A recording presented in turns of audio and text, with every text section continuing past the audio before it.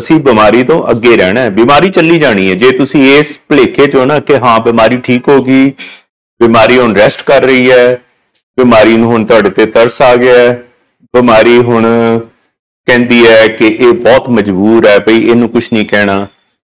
ਇਹ ਮੇਰੀ ਗੱਲ ਧਿਆਨ ਨਾਲ ਸੁਣ ਲਓ, ਬਿਮਾਰੀ ਮਜਬੂਰੀਆਂ ਨਹੀਂ ਸਮਝਦੀ। ਬਿਮਾਰੀ ਮਜਬੂਰੀਆਂ ਨਹੀਂ ਸਮਝਦੀ। ਤੁਸੀਂ ਆਪਣੀਆਂ ਮਜਬੂਰੀਆਂ ਆਪਣੀ ਬਿਮਾਰੀ ਦੇ ਅੱਗੇ ਰੱਖਦੇ ਹੋ ਕਿ ਮੇਰੇ ਕੋਲ ਪੈਸਾ ਨਹੀਂ ਹੈ, ਮੇਰੇ ਕੋਲ ਟਾਈਮ ਨਹੀਂ ਹੈ।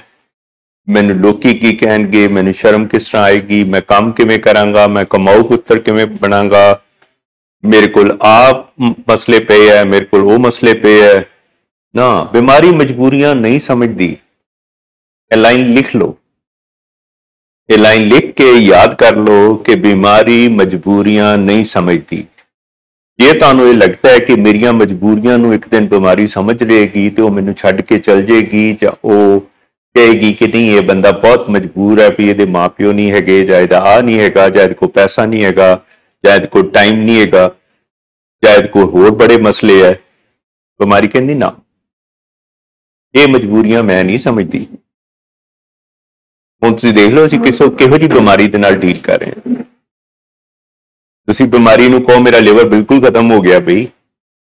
ਮੈਂ ਸਰੋਟਿਕ ਲਿਵਰ ਹੋ ਗਿਆ, ਮੇਰਾ ਦਿਮਾਗ ਬਿਲਕੁਲ ਖਤਮ ਹੋ ਗਿਆ। ਮੈਨੂੰ ਨਹੀਂ ਸਮਝ ਆਉਂਦਾ ਪਿਆ ਰਿਐਲਿਟੀ ਕੀ ਹੈ ਤੇ ਅਸਲੀਅਤ ਕੀ ਹੈ। ਬਿਮਾਰੀ ਕਹਿੰਦੀ, ਮੈਂ ਮਜਬੂਰੀਆਂ ਨੂੰ ਨਹੀਂ ਸਮਝਦੀ। ਬਿਮਾਰੀ ਗੱਲਬਾਤ ਕਰਦੀ ਹੈ।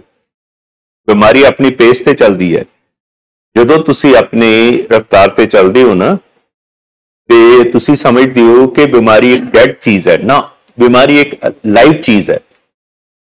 ਤੁਸੀਂ 10 ਮੀਲ ਦੀ ਸਪੀਡ ਤੇ ਚੱਲਦੇ ਹੋ ਬਿਮਾਰੀ 15 ਮੀਲ ਦੀ ਸਪੀਡ ਤੇ ਹੋ ਜਾਂਦੀ ਹੈ ਤੁਸੀਂ 15 ਮੀਲ ਦੀ ਸਪੀਡ ਤੇ ਚੱਲਦੇ ਹੋ ਬਿਮਾਰੀ 20 ਮੀਲ ਦੀ ਸਪੀਡ ਤੇ ਹੋ ਜਾਂਦੀ ਹੈ ਤੁਸੀਂ 20 ਮੀਲ ਦੀ ਸਪੀਡ ਤੇ ਚੱਲਦੇ ਹੋ ਬਿਮਾਰੀ 25 ਮੀਲ ਦੀ ਸਪੀਡ ਤੇ ਹੋ ਜਾਂਦੀ ਹੈ you have to there is no way you can feel helpless ਨਹੀਂ ਭਈ ਇਹ ਤਾਂ ਬਿਮਾਰੀ ਹੋਰ ਤੇਜ਼ ਹੋਈ ਜਾਂਦੀ ਹੈ ਬਿਮਾਰੀ ਨੇ ਤੇਜ਼ ਹੋਣਾ ਹੀ ਹੋਣਾ ਹੈ ਹਾਂ ਇਹ ਸਪੇਸ ਨੂੰ ਇਕੁਏਟ ਕਰਨ ਵਾਸਤੇ ਤੁਹਾਨੂੰ ਕਿਹੜੀ ਕਿਹੜੀ ਚੀਜ਼ਾਂ ਦੀ ਲੋੜ ਹੈ? ਜੇ ਤੁਸੀਂ ਸਾਰੇ ਦਿਨ ਚ ਅੱਗੇ 1 ਘੰਟਾ ਇਨਵੈਸਟ ਕਰਦੇ ਹੋ, ਹੁਣ 1.5 ਘੰਟਾ ਇਨਵੈਸਟ ਕਰੋ।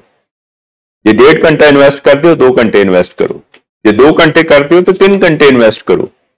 ਜੇ ਤੁਸੀਂ ਇੱਕ ਡਾਇਰੀ ਲਾਈ ਹੈ, ਤਿੰਨ ਡਾਇਰੀਆਂ ਲਾਓ। ਜੇ ਤੁਸੀਂ ਸਿਰਫ ਇੱਕ ਮੀਟਿੰਗ ਅਟੈਂਡ ਕਰਦੇ ਹੋ, ਨਹੀਂ ਤੁਸੀਂ ਕਹੋ, ਡਾਕਟਰ ਸਾਹਿਬ, ਮੈਂ ਤਾਂ ਦੋ ਮੀਟਿੰਗਾਂ ਅਟੈਂਡ ਕਰਨੀਆਂ। ਮੈਂ ਸਵੇਰ ਦੀ ਵੀ ਕਰਨੀ ਹੈ, ਮੈਂ ਸ਼ਾਮ ਦੀ ਵੀ ਕਰਨੀ ਹੈ, ਮੈਂ ਦੁਪਹਿਰ ਦੀ ਵੀ ਕਰਨੀ ਹੈ। ਮੈਂ ਤਿੰਨ ਮੀਟਿੰਗਾਂ ਅਟੈਂਡ ਕਰਨੀਆਂ।